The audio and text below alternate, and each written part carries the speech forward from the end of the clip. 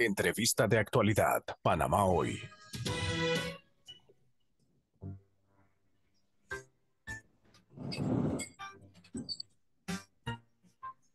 Y vamos entonces eh, con la siguiente entrevista y nos encontramos eh, en estos momentos eh, con el defensor del pueblo, Eduardo Leblanc. Muy buenos días, eh, licenciado.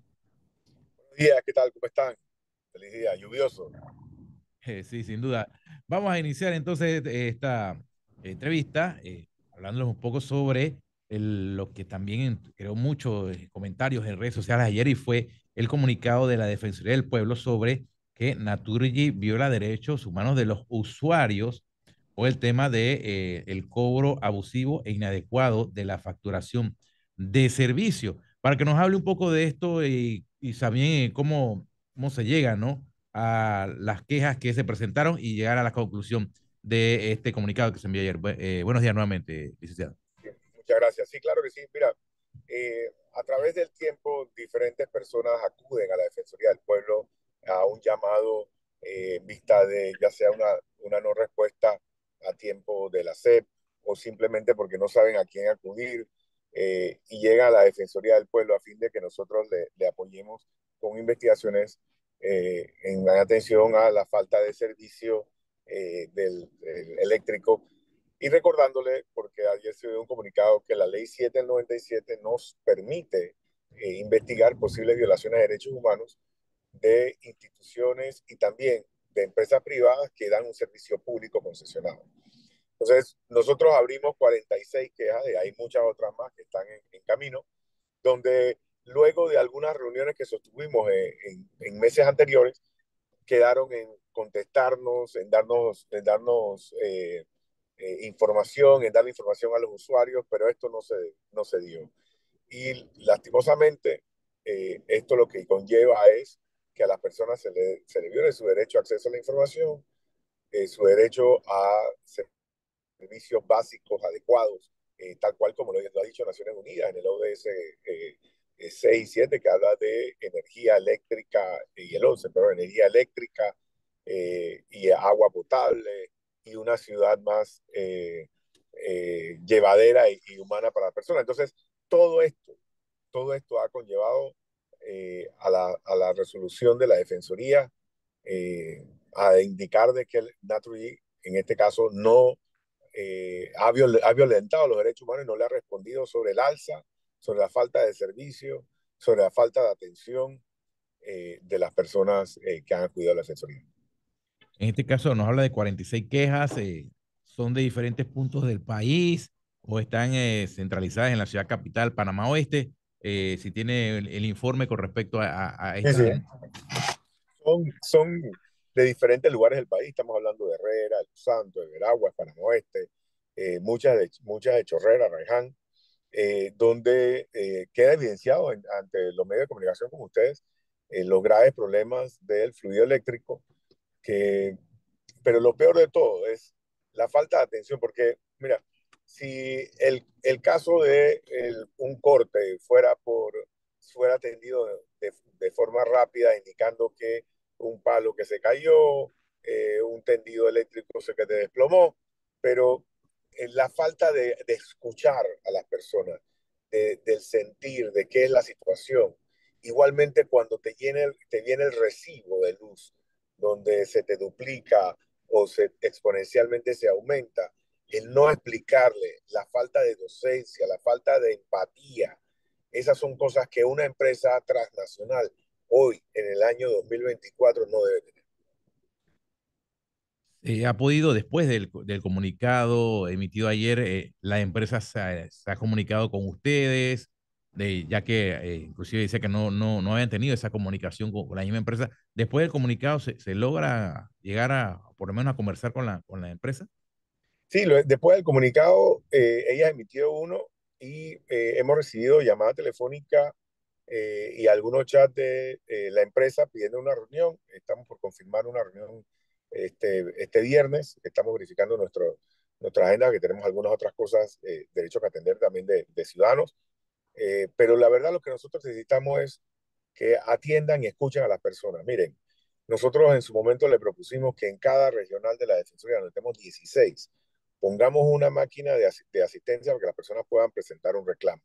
Le dijimos, nosotros podemos estar con ustedes en capacitación. Es más, le podemos dar capacitación al personal de ustedes para que atiendan personas y atiendan personas de manera humana. El problema, veo yo, y parte es, eh, sin que la, la, tercerización sea algo, no se satanice, pero parte de las cosas considero que eh, la empresa se ha tercerizado tanto, se ha desmembrado tanto de que la razón de ser o, o, la, o esa relación con el cliente se ha despegado. Es decir, la, lo que nosotros conocemos como esa empresa de distribución ya es una agencia de cobro y de eh, administración del flujo que cobra de la, de la, de, la electricidad. Y ahí la va viendo para quien te instala el medidor, para quien da mantenimiento en las líneas, para quien poda. Y, ya pierde esa conexión con el usuario, con ese residente. Y estas cosas deben ser reguladas para que las futuras concesiones no se den. No que no puedan tercerizar, ojo, no. Sí, pero no al punto de que del 100% de la, de, del negocio, tú nada más te quedes con el 10% que es el cobro y, ni el cobro en sí, porque el cobro está tercerizado con otras empresas, sino con la administración de fondos, que eso en realidad es lo que, lo que corresponde a estas empresas que son es administradoras del fondo de pago de las cuotas de electricidad. Bueno, de Defensor del Pueblo, yo le aseguro, licenciado Leblanc, de que muchas personas en este momento que nos están escuchando a través de Radio Panamá se han enterado de que también estas denuncias se pueden poner a la Defensoría del Pueblo eh, porque de repente piensa que solamente es la SEC la que se hace cargo de esto. El, eh, la Defensoría del Pueblo, en, eh, en, en, qué oficina particular o solamente se llega a poner la, la, denuncia en la Defensoría del Pueblo? Quiero aclarar, prioritariamente, o la ley establece que el regulador es la SEP, es cierto. Correcto. Ajá. Si hay violaciones de derechos humanos, como en este caso y en muchos otros, o si la SEP no contesta, que, eh, o no contesta satisfactoriamente, o no cumple con el proceso, está en la Defensoría del Pueblo. En el 127, en todas nuestras regionales, lo más fácil es llamar al 127. Eh, en todas nuestras regionales, en nuestra página web también pueden presentar eh, la denuncia, en nuestra aplicación. Eh, y la ley está desde 1997. Esto no es algo novedoso. Desde que se creó la Defensoría del Pueblo, aquellos legisladores que crearon la Defensoría del Pueblo, aquellas eh, personas que pensaron en esto, como el, ex, defensor del pueblo, Italo Antinori, tomaron en consideración este tema. Las empresas que dan servicios eh, a, a, a, las personas y que son en base a una concesión administrativa, es decir, las telefónicas, el, la electricidad, las universidades privadas, las, las escuelas privadas y todas aquellas que den una concesión administrativa, producto del Estado, eh, no pueden violar derechos y, y, y se está trabajando en Naciones Unidas y en el mundo a que en general también últimamente se está viendo que las empresas violan derechos humanos, pero por ahora nuestra ley nos permite en ese rango de acción. Esto vendría siendo, para, para entender bien y también para que los oyentes nos comprendan, vendría siendo como un proceso, o sea, fui a la, a la empresa, no me dieron respuesta, fui a la SEC, no me dieron respuesta, me apoyo en la Defensoría del Pueblo con las pruebas necesarias para poder entonces que eh, den una respuesta, ¿no? Así mismo es, así mismo es. Nosotros tenemos que ser eh, eh, justos y, indicar de que el ente es la SEP. Si la SEP no responde, si aún así eh, la puedes presentar también a la par con la SEP, nosotros coadyuvamos con la SEP enviando la información. Ellos usan información nuestra para abrir, abrir expedientes, pero lo más importante es presenten el reclamo. Hay que esperar un, tiempo de respuesta, son alrededor de 15 días por parte de, la distribuidora eléctrica.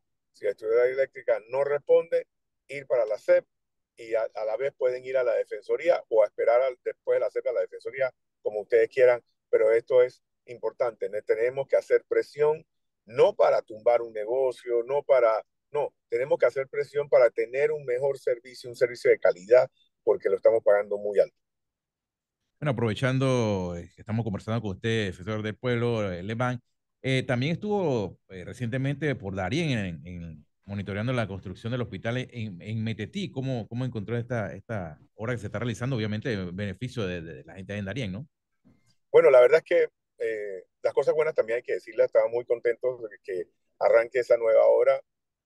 bueno, se vuelva a arrancar la, la obra. Eh, en ese momento eh, nosotros veíamos que tenía alrededor del 50% de avance, luego de, de, la irresponsabilidad, sea de la empresa o de los gobiernos, no sabemos, eh, la obra puede haber bajado a 35%, y esto en atención a que si usted va allá va a haber ductos de aire acondicionado en el suelo y múltiples cosas que han tenido que, que reestructurar.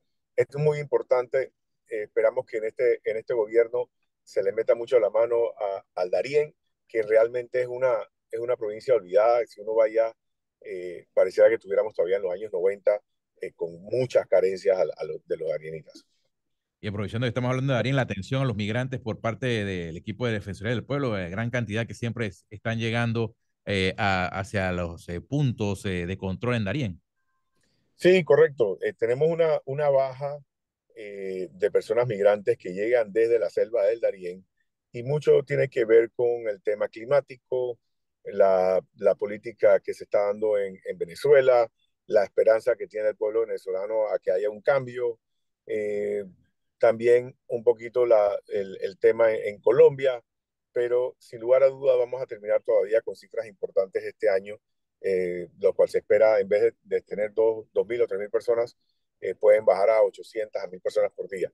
Lo ideal es que nadie tenga que migrar, que todos los gobiernos satisfagan sus necesidades eh, eh, al ciudadano sin tener que salir de tu país.